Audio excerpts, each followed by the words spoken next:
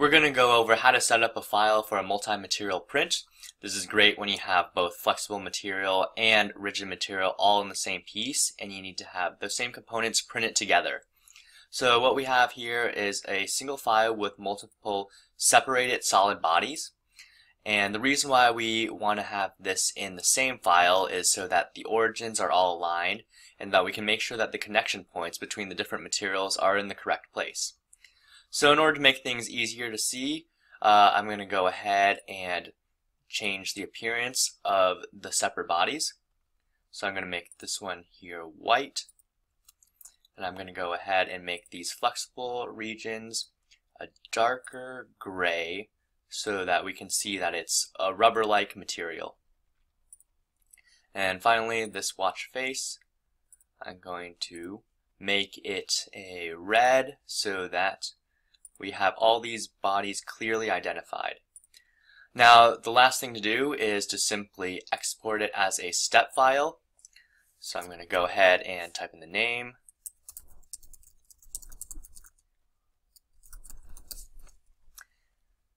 And then when I select step file, AP203 works great. And then we're all good to go. So all you need to do is upload the step file to the platform. And if you select rubber-like material for quoting, you'll see the exact same prices as for multi-material. Uh, and then the last thing to do is to annotate this and send a call out so that we know exactly which material is going to be flexible and which one is going to be rigid. So to do that, all you need to do is either take a screenshot and then annotate the photo, or you can go ahead and, as I will demonstrate, create a drawing out of this assembly. So I'm going to select A4 sized paper, I'm going to drag in this isometric view, make sure that we can see the colors and the bodies uh, and then just increase the scale so it's larger.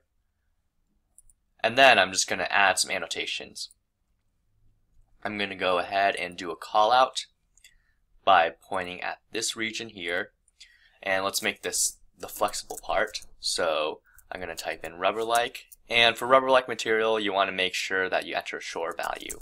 So for this one, I'm going to do Shore 60. Uh, and now I'm going to go to this body right here. And let's say we want to make this one a little bit stiffer. So let's enter Shore 95A. Um, last thing to call out is this red. This is going to be my rigid part, so I'm going to type in White, which is the standard rigid material on these multi-material prints. And then same thing right here in terms of VeroWhite. And now all you need to do is save this as a PDF. Material.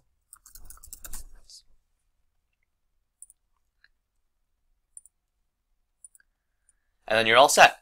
So what you do is you upload both of these files that we saved, the PDF with the callouts and the previous step file which had all the individual bodies in it that are separated. Upload those two to our platform and then you'll be ready to have quote within minutes. Uh, let us know if you have any questions.